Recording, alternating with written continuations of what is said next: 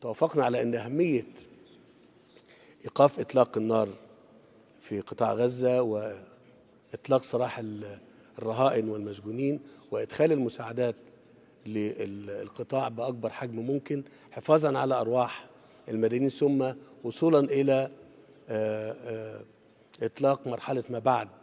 آه، الحرب من أجل إقامة دولة فلسطينية عاصمتها القدس وهنا لازم أسجل أن البرازيل من الدول التي اعترفت من فخامة الرئيس بالدولة الفلسطينية